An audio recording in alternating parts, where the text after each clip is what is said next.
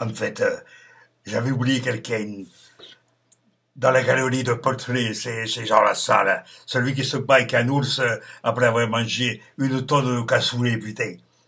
Alors, euh, voilà, j'avais dit à la façon de genre la salle, c'est-à-dire du sud-ouest, c'est euh, du Béarn, quelque, quelque part voilà.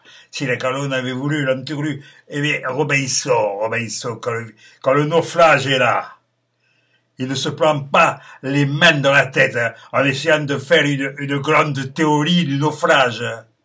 Sinon, d'ailleurs, nous n'aurions jamais écrit le récit de ces miracles.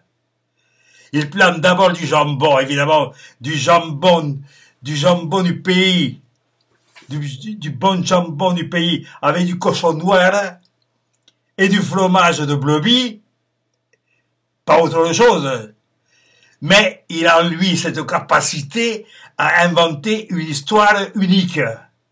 Voilà. En gros, ça peut être aussi bien euh, l'accent de Carcassonne ou de cette région des Colbières, tu vois, ou de la Montagne Noire. Mais en tout cas, c'est dans ce coin-là, tu vois. Et voilà.